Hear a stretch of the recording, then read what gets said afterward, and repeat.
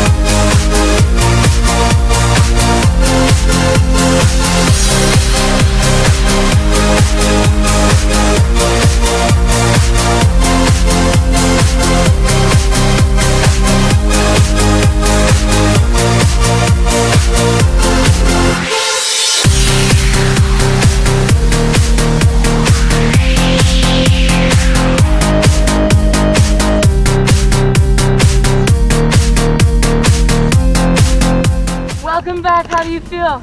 Yeah. I can't breathe when I jumped out of the plane. But did you like it? Yeah, really like it. Will you jump again?